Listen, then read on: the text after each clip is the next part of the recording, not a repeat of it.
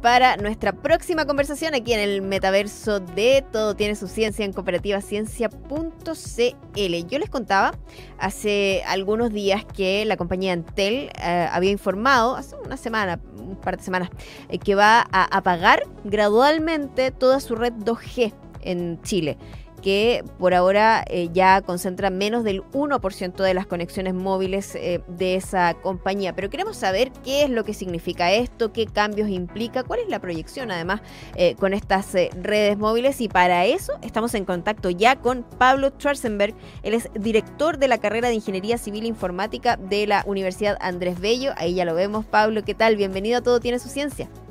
Hola, mucho gusto, gracias por la invitación. No, gracias a ti por venir a contarnos eh, un poco más de esto que, claro, probablemente muchos y muchas vimos en la prensa. Decimos 2G, esto es muy antiguo, ya no usamos el 2G hace tanto tiempo, pero sí hay lugares donde todavía se usa, entonces, em, que son, es muy poquito, ya hablamos, menos del 1% al menos de eh, las conexiones de Entel. Entonces, ¿qué significa este apagón del 2G? ¿Cómo lo podemos explicar? Bueno, lo que ocurre, bueno, eh, a través del tiempo la tecnología va avanzando, ¿no es cierto? Entonces esta tecnología, la 2G, digamos que fue una de las primeras que se eh, generó en donde las transmisiones de los celulares comenzaron a ser digitales, ¿ya? Claro. Eh, fue en los años 90, entonces hace bastante tiempo ya que está funcionando y bueno, y con la aparición de las nuevas redes, ¿no es cierto? El 3G, 4G, 5G, que estamos ya, ¿no es cierto? El espectro electromagnético y también toda la infraestructura que, que soportan las redes eh, comienza, bueno, la más antigua a quedar obsoleta. Entonces ahí es, donde surge la necesidad de, de irlas eh, bajando, ¿no es cierto?, apagando, para eh, permitir concentrarse en, la, en, las tecnologías ya más nuevas, ¿ya? Y como bien decías tú, ¿no es cierto?, el 1% de, de, la, de las redes, ¿no es cierto?, por lo menos en, la compañía que lo, que lo está promocionando, ¿no es cierto?, este, este cambio, eh, está en el 2G, porque la mayoría de los teléfonos actuales no, no, usan esa tecnología, ¿ya? Entonces, en los lugares más remotos todavía queda la red 2G porque la red 2G tiene una característica y tiene que ver con el tipo de, de, la manera en cómo funciona la transmisión, ¿no es cierto? Permite poner las antenas, ¿no es cierto?, a mayor distancia. Entonces, en lugares que son más remotos, ¿no es cierto? Uno puede tener una antena 2G eh, y, esa antena estar más lejos de las otras, ¿no es cierto? Pero en cambio, con las tecnologías más nuevas, eh, hay otros requerimientos que tienen que irse cumpliendo. Entonces, por eso quizás queda en estos lugares ya más remotos. Y, ahí es donde se abre la, necesidad de ver eh, qué es lo que se hace después con la, con la conectividad en esos lugares. ¿no es? Claro, y justamente eso ha sido eh, un tema que incluso la Subtel ha salido a decir que eh, se va a hacer cargo y que de alguna manera va a fiscalizar o va a revisar que las empresas no dejen a nadie sin conectividad, porque sería un tremendo retroceso en, el sentido de que hemos ido avanzando justamente a que exista mayor conectividad en todo el país. Y, y, desde ahí, ¿qué es lo que se puede hacer para asegurar precisamente que todas esas personas no se queden, aunque sea un 1%, aunque sea un 0,5%, pero que no se queden sin conectividad? Claro, claro. Bueno, hay varias soluciones, eh, soluciones que son más por el lado de lo satelital, ¿no es cierto? Eh, eso, eso puede ser es lo que habitualmente se investiga, sobre todo para lugares más remotos. ¿no es cierto? hemos escuchado quizás hablar de las soluciones como el Starlink, ¿no es cierto? U otras, ¿no estoy, solamente mencionando una de las tecnologías que hay, hay muchas otras. Entonces, estas están justamente pensadas para los lugares más remotos, porque como bien lo decías tú, cuando en un lugar llega la red de celular, ese lugar gana mucho. En el fondo las personas pueden comunicarse de una forma mucho más fluida. Si nosotros pensamos eh, actualmente cómo usamos nuestros celulares, ¿no es cierto?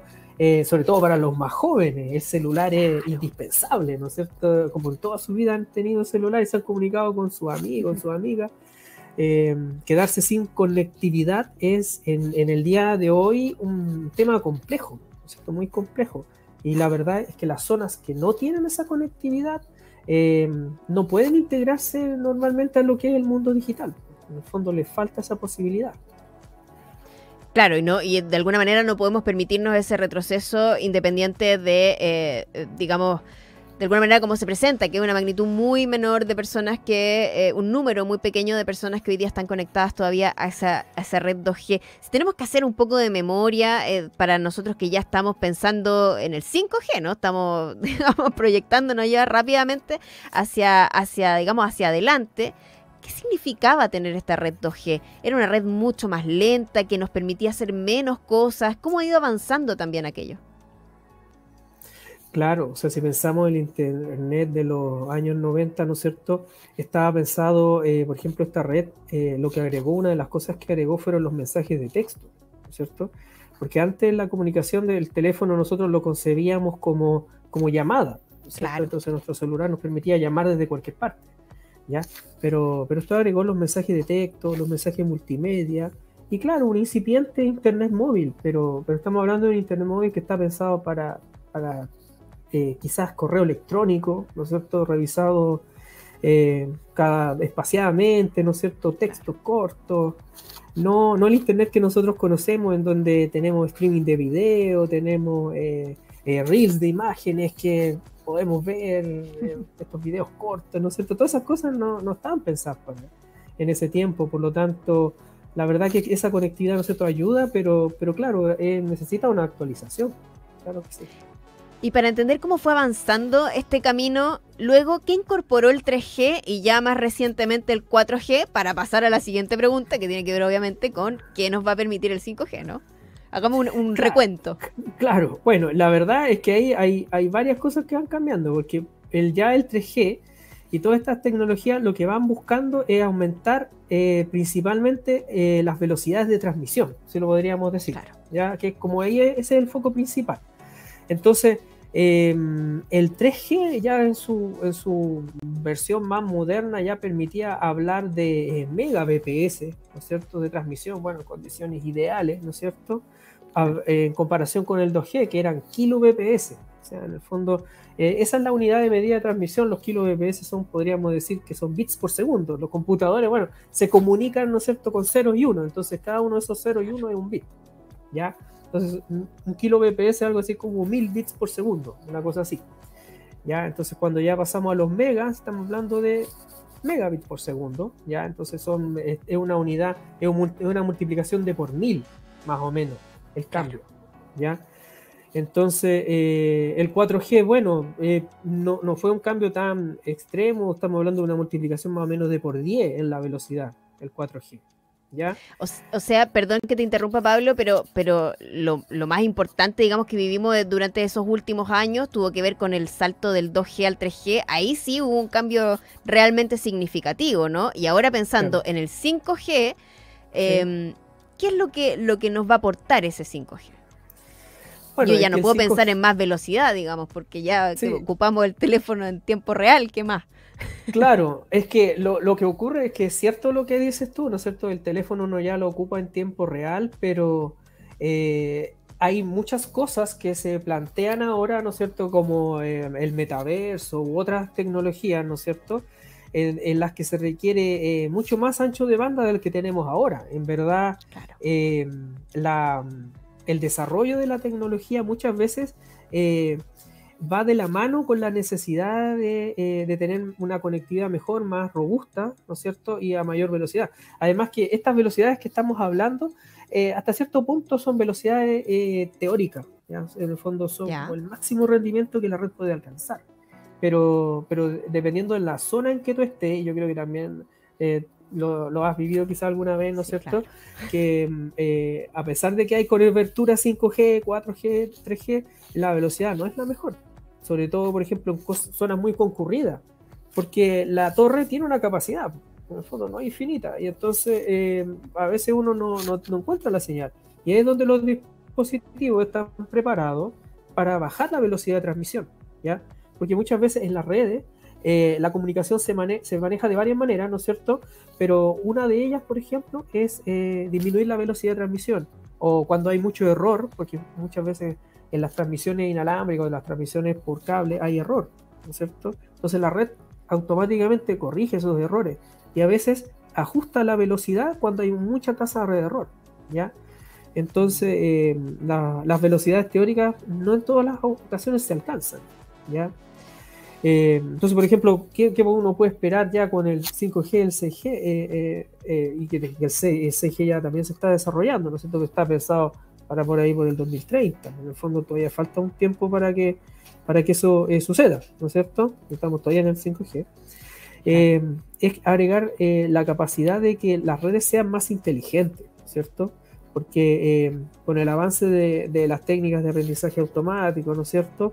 Uno puede incorporar eso en la gestión de la red y permitir que, bueno, la, red maneje mejor el ancho de banda y también maneje mejor el consumo, de, porque todas las torres de, transmisión tienen un consumo de, electricidad, ¿no es cierto? Entonces, si uno quiere hacer un mejor uso de la energía, cuando tiene menos carga la, torre podría bajar su consumo y cuando está a full capacidad aumentarlo. Entonces, todo eso eh, eh, eh, se busca gestionar de manera más inteligente. Qué interesante conocer todo lo que hay detrás de algo que nosotros ocupamos, eh, digamos, diariamente. O sea, muy pocas personas que hoy día probablemente no están ocupando eh, alguna red de, 4G eh, para conectarse a hacer cosas, digamos, cotidianas, pero hay un montón de cosas que desconocemos. Y, y aquí me entra la pregunta, Pablo, la duda más bien respecto de, y tú hablabas al principio, de la infraestructura. Este avance hacia el 5G y ya eventualmente pensando en el 2030, un 6G, ¿requiere de mayor infraestructura? Claro, lo que ocurre es que, bueno, los avances en las redes son combinación de dos cosas. Eh, es eh, la transmisión, ¿no es cierto?, por las ondas electromagnéticas, que a veces ocurren en otro espectro, ¿no es cierto? Otro espectro y en el fondo en otra frecuencia, si lo queremos llamar, ¿ya? Eh, y el software, porque detrás de la capacidad de, tener una mayor velocidad, de generar nuevos servicios, también se necesitan hacer cambios en el software. Entonces, el cambio de una red a otra involucra tanto cambios de hardware como cambios de software, ¿ya? Pero muchas veces esto se diseña de tal manera que sea compatible hacia atrás. Es decir, eh, cuando yo tengo un dispositivo, por ejemplo, 5G, si se queda sin conexión 5G, puedo usar una 4, ¿ya? Y así. Ah, después pueden bajar a 3. Y, uno lo puede ver porque arriba el celular muchas veces claro, avisa. Claro, y entonces uno está en 5 o en 4 o en 3, a pesar de que el celular soporta 5, pero dependiendo de lo que tiene disponible, va eh, probando hasta que encuentre una red que, le funciona. Claro. Hoy estamos conversando con Pablo Schwarzenberg, él es director de la carrera de Ingeniería Civil Informática de la UNAP. Estamos hablando del apagón del 2G, pero como excusa para con conocer y proyectar de alguna manera lo que viene también, ¿no?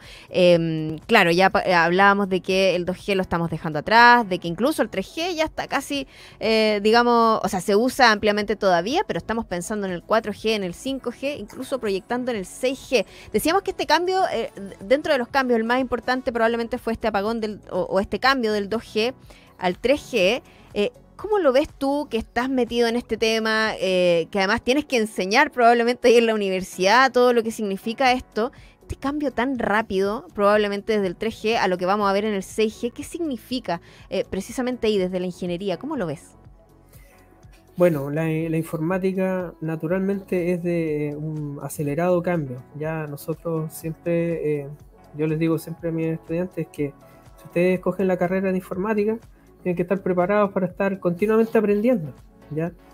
Eh, la verdad, ¿no es cierto? Cuando yo salí de la universidad, ninguna de estas redes existía de manera extendida, ¿no es cierto? Claro. Entonces, eh, claro, uno tiene que mantenerse continuamente estudiando y, este, esto, es, esto es parte del, de, de, lo que es la profesión, ¿ya? Em, la verdad que junto con los cambios de la tecnología se abren nuevas oportunidades, ¿ya? Entonces, ahí por ese lado es que nosotros muchas veces lo, abordamos, porque estos cambios permiten que, las personas puedan hacer cosas que antes no ni siquiera se las imaginaban, ¿ya? Por ejemplo, en la pandemia, la posibilidad de hacer videoconferencias con los familiares que estaban en otro lugar y no, uno no podía salir e ir a verlo, la verdad que ayudaba harto, sobre todo, por ejemplo, a las personas mayores, ¿no es cierto? Van a estar en contacto con su hijo, con sus nietos. Entonces, eh, y todo eso es gracias a la, a la, tecnología, a la evolución de las redes de comunicación inalámbrica o el internet banda ancha, todas esas cosas. ¿ya? Entonces, eh, en la medida en que estas tecnologías van avanzando, lo que crean son posibilidades, ¿no es cierto? Y ahí nosotros lo que tenemos que ver es cómo hacer para que todas las personas puedan eh, aprovechar estas posibilidades. Entonces ahí hay un, aspecto bien importante que es la, educación, la alfabetización digital, ¿no es cierto? Porque no en todos los eh, niveles de edad hay un manejo igual de la tecnología. ¿ya? Entonces, eh, lograr que, que, la tecnología pueda ser aprovechada requiere esa educación, ¿cierto? Esa, y, y, hacer que de esa forma las personas se puedan integrar al mundo que cada vez es más digital. De hecho, eh, por ejemplo, ayer no en una clase hablábamos de, de, lo que significaba el hecho de que gran parte de las, eh, de las compras que se hacen ahora son por internet. Entonces, uno, yo venía más bien de que si uno quería ir a comprar algo iba a una tienda, ¿cierto? Entonces eso ya es, cada vez más extraño. Uno puede pedir delivery de todo. Con la pandemia eso se aceleró muchísimo, lo que nosotros llamamos la transformación digital. Eso fue un gran impulso. Pero, pero no todo se le hace tan fácil, ¿cierto? Y, ahí es justamente que, que, la conectividad y el acceso a la conectividad em, pasa de ser algo como opcional o algo que uno eh, puede usar o tener como ah, eh, cuando lo necesite, a algo que ya es cada vez más indispensable.